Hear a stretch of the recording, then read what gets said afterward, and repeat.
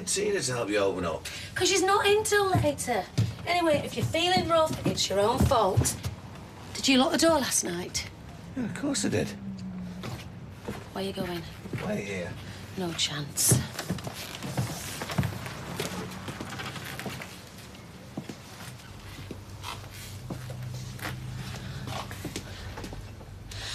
Well, both the tills are still here. There's no booze missing. Good, because I could do with a drink right now. How much did you and Steve have to drink last night? Not enough to leave the door wide open. Come on, check the back room and all. You probably had more than you thought. It's easily done. Maybe we're worried about nothing. We'll be laughing about it later. Somehow I think not. So I'm not going to be living here anymore. No. The thing is, love, uh, you're going to be living somewhere else for a while. How long? Don't know. Month, maybe more, if you like it. Oh, like a holiday. Yeah. Yeah, sort of. Oh, I haven't brought my swimming costume. It's okay. I'll buy you another one. I've just seen Gail Platt going to work in her overalls, carrying a mop and bucket. It is the little things that make life worthwhile. Everything all right? Yeah, um, the care home called when you were out. They can take Lesley this afternoon. You know, like a trial period. See how she settles in. That's good news, isn't it? Yeah, yeah. Well, I don't know. It's hard enough trying to explain to her what's going on now, what it's going to be like when I have to leave her.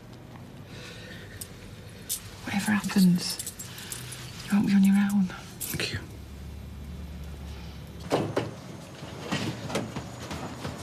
So what time are you going? Uh, 11. Well, we've got to be at the airport at 11, so the taxi's coming in an hour. Sounds like you can't wait to get away. It's not like that. Right, I'm not doing this to score points or to try and hurt you. I'm sorry if this is upsetting you, but I But told you're you still night, I told you last night what I was planning to do. Yeah, you told me. You never asked me. Okay. I'm asking you now. Come with us. Please. Right, if not for me, then do it for Asha Nadi. I can't. You mean you won't? Same thing. No. It's not. Have it your way.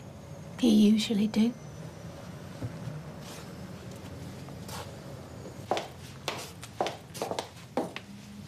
Hey, you all right? Well, not really, no.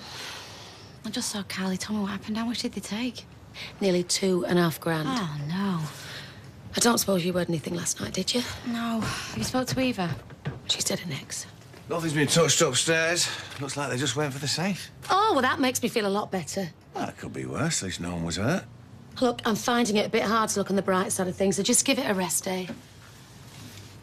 You, uh, any idea how they might have got in? Ask Calamity Carly. Look, I know you're angry at me, but there is no way I'd have left the door open like that, no matter how much I'd had to drink. Yeah, but you did forget to set the alarm, didn't you? Well, I must have. You must have. Well, I'm not sure, am I? Because if I was, I'd have set it and we wouldn't be having this conversation. what are you doing? Calling the police. No, I got us into this mess. I'll call them and sort it out. Oh, you think you can manage that, do you? Hey, come on. There's no point rowing about it now. Why don't we just go in here, have a coffee, and wait to see what the police say, eh? Right. Stella, What? I'm sorry. Here, I know.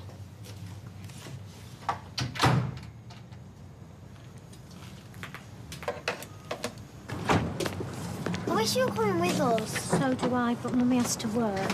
Can't you pull a sickie? No, I cannot pull a sickie. I'll call you every day at bedtime. You be a good girl. And you be a good boy. And remember to hit that little ball with a big bat. It's a club. I know, I was teasing. Right. Come on, you guys. In the car, put your seatbelts on.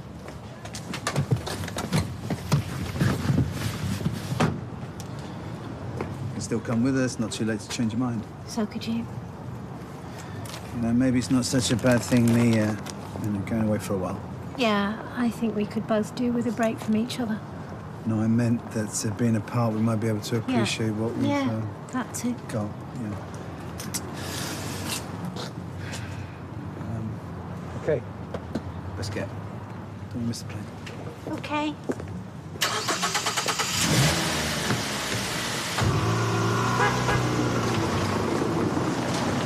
Why, where are they off to? Mallorca. Dev's taking Aadi on a golfing holiday. Oh, hey, you don't get any clever ideas. You'll be lucky to get a wet weekend in Bridlington. Enjoy the peace and quiet while you can. Thank you, I'll try. Is this my room? Not bad, eh? Look even better when you've got a few pictures and things up. Can you see the garden from the window? Just about. Would you like to go outside and have a proper look? If that's okay. Yeah, fine. Right, Lesley, off we go.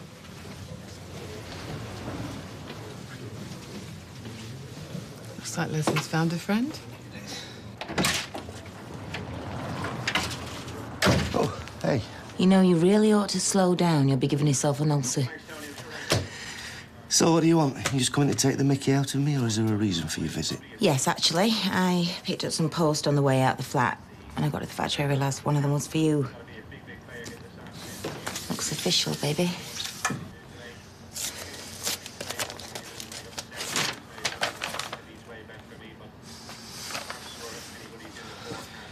From Leanne's solicitor. She's pushing for custody of Simon. Apparently, I've got to attend a mediation meeting, whatever that means. She said she were going to do it. Yeah, well, I'm kind of hoping she'd forget about it. What, for old time's sake? No, for Simon's sake. Are you going to go? Well, what do you think? I'm just going to hand him over to him? Of course I'm going to go. I'm sorry, lover. You know, apart from you, he's the only good thing in my life at the moment. Well, maybe you ought to start fighting for him rather than take it out on me and everybody else. You're right. You know, and we'd also save an awful lot of time if you just accept that as a given. Damn right. A week's takings. Pretty much, yeah. How did they get in? Uh, through the back door, I forgot to set the alarm. And that's the night they decided to do it. God, I thought I had bad luck. What did the police say? We don't know. They haven't bothered turning up yet. What time did you call them? Well, I didn't. Karl did.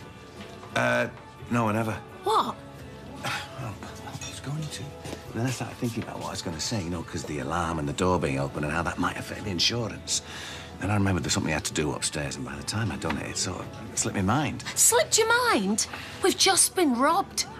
Did you fall over and bang your head or something? Because I swear you are starting to lose the plot. Yeah, I know. Sorry, I'll do it now. Oh, don't bother. I'll do it. Yeah, I'll I'll get him to call you when I see him. And I'm really sorry. Bye. Hey, you right, mate? You been busy? Uh, not really. Right, well, here now. Let me slip into something a bit more grease-stained. Uh, before you do that, Doreen's just phoned. She wants you to call her. Why, what's up? Maybe you should just call her. Daft tired, just tell me what's wrong. It's your granddad, Jeff. What about him? He's had a heart attack. Well, is he all right? They've rushed him to the hospital, but he died. Is some kind of wind-up? No, it's not. I wouldn't do that to you. I believe. I'm really sorry, mate. I know how close you was to him. I only spoke to him the other day. Just doesn't make sense. How, how could he be dead? Maybe you should go home. Probably in shock or something. No, I don't, I don't want to go home. I don't want to be on my own. Soft's that. You've just lost your granddad. There's nothing soft about it. I was going to close up early anyway, so um, why don't you call Doreen, give us a chance to finish this job, and then we'll go to the pub. Raise a glass to him, okay? Okay.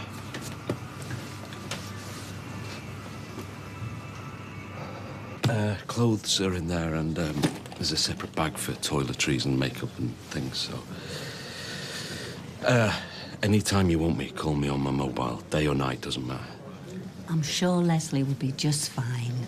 But maybe now would be a good time to say your goodbyes.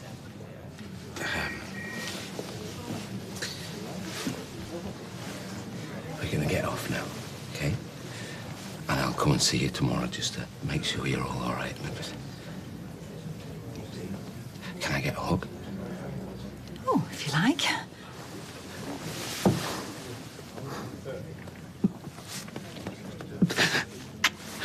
I'll see you soon, yeah? Bye, Lesley. Bye. They're nice. Who are they? Should we get you settled in? It's all right. Oh, it's gonna be all right. Come on. Let's get you home.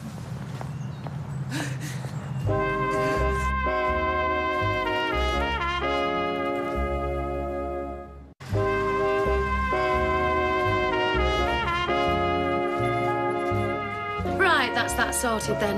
You call the police? Yeah.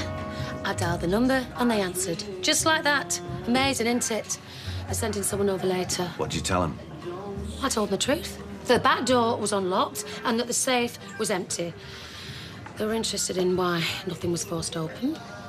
You know, I've been thinking, what if they didn't break in? What if, I don't know, someone hid in the toilets whilst we locked up? And then waited till we were asleep and then took the money and went out the back? We always check the box. That still doesn't explain how they opened the safe. Unless they knew the combination. How could they? Well, everyone who works here knows the combination. So? So maybe you and Tina were talking one night and someone overheard you. So you're saying it's our fault? All I'm saying is two and a half grand has gone missing, and whether they came down the chimney or through the toilets, something is not right. Where are you going? You accused us before of taking money from the till. Oh, I made a mistake. Yeah, and guess what? You're making one again. I come here to work, not to be called a thief. Going home. Oh. Sunita, wait. What'd you do that for? Don't turn this back on me. This is your oh, fault. Oh, thanks for your support. Oh, what do you want? A pat on the back for being a flaming liability? Oh, well, if that's the way you feel, maybe I should leave and all before I cause any more damage. Yeah, why don't you? And don't hurry back.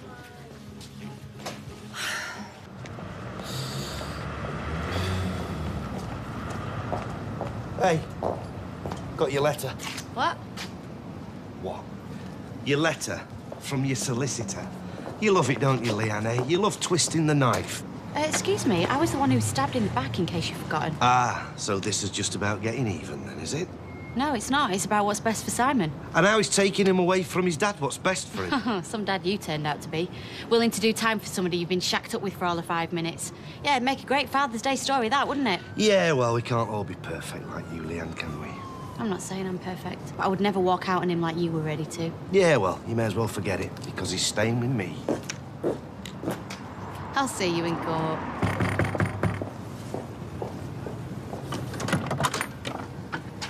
You okay? Do I seem okay? Listen, what Stella said earlier about the money, she didn't mean it. She was just angry at me. Don't let it get to you. I don't care about the money or Stella or even my job anymore. I don't care about anything. Why have you been crying then? Do you want to understand? Try me.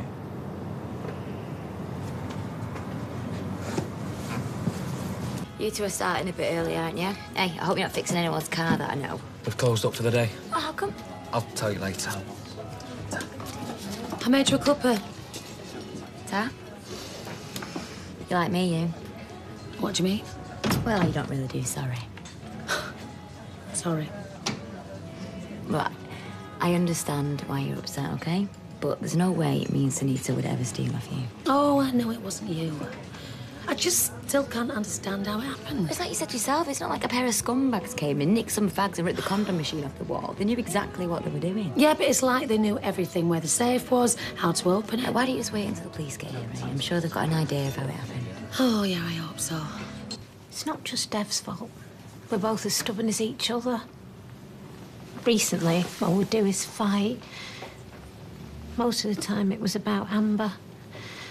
But now she's gone, I realised that she was almost an excuse for us to lash out at each other. Most couples row. You should have heard me and Stella after you left the pub. Difference is, she still loves you. What are you saying? That you don't love Dev anymore?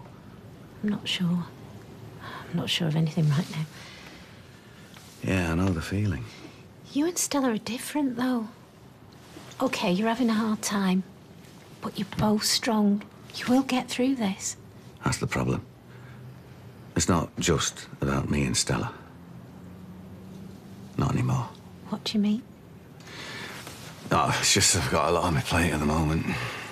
Look, I know this isn't the answer, but I could do with something stronger than coffee. Do you fancy joining me? I've got a bottle of wine in the fridge. You want to be careful. Look what happened last time. Don't worry. I'm not going to kiss you again. I meant you getting arrested. oh, you fancy a drink or not?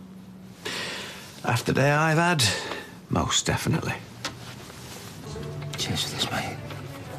Well, I think I owe you a couple from the other night. No, not, not the beers, I want about the company. Oh, I'm not going to leave you on your own, am I? How are you feeling? Can't get my head around it. Just the, the fact that he's gone, I mean, it's. Just keep going over the last time I spoke to him. Oh, I didn't speak to him. What are you on about? He rang a couple of days ago. I was getting ready to go out, and even though I could tell he really wanted to talk, I just. just kept fobbing him off with one word answers. Practically hung up on him.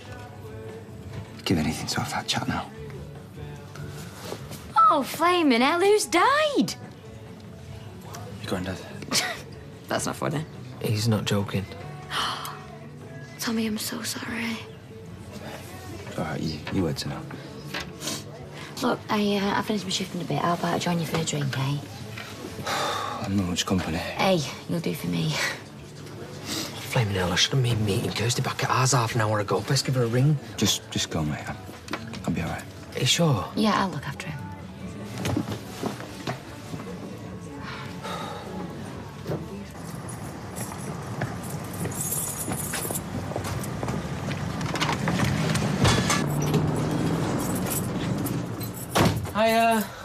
Sorry I'm late.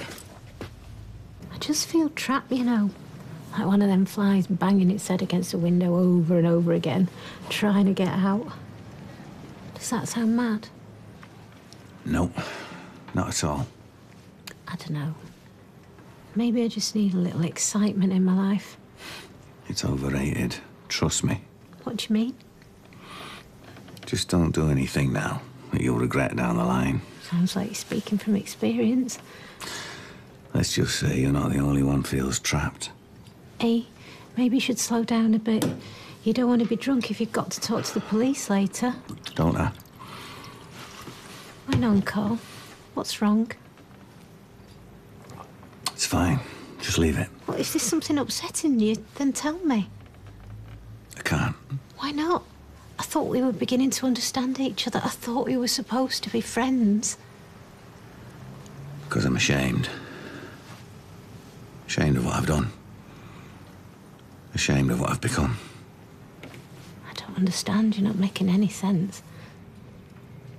It was me. The breaking. It was me. Do you want to set the table? Because this is nearly ready. Yeah, sure. What are we having? It's a surprise. Or at least it will be a surprise if it's edible. You are not that bad a cook. You are not that good a liar. And if, as I suspect, it is inedible, how about I go out and get us fish and chips? Well, let's just try it first, eh? What? Sorry. Um, it's gonna take me a while to get used to not having her around. Sit down, love, and I'll bring the food out.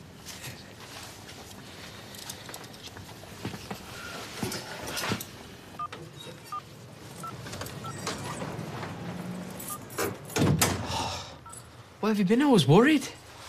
Really? I tried calling your phone, but it was off. That's because I switched it off.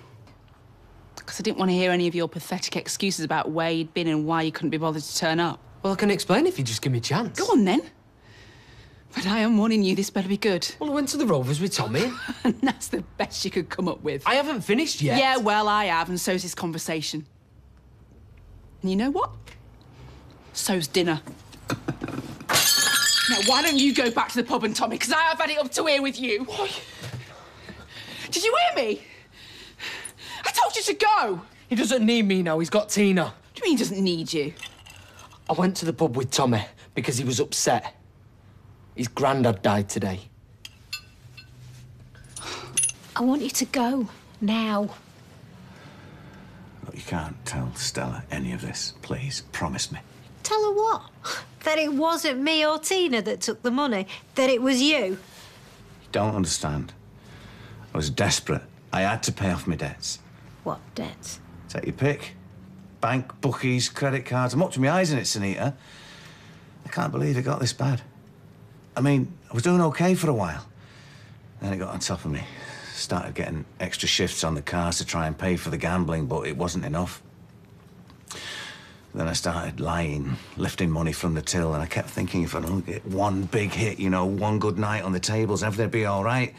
But it just got worse. And now there's all of this, and I just don't know what to do. This isn't going to go away, Karl. Stella's going to find out sooner or later. And what about the police? They're going to know something's not right. You've got to tell her. How can I tell her? I lied to her, stole from her.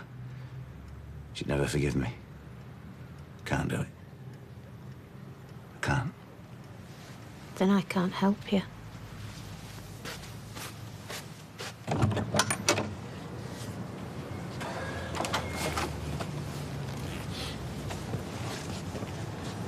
I'm sorry.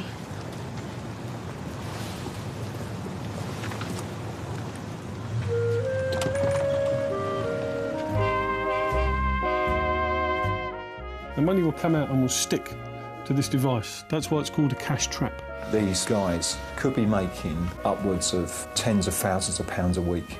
Well, not for long. The police are on the case. Fraud Squad is next.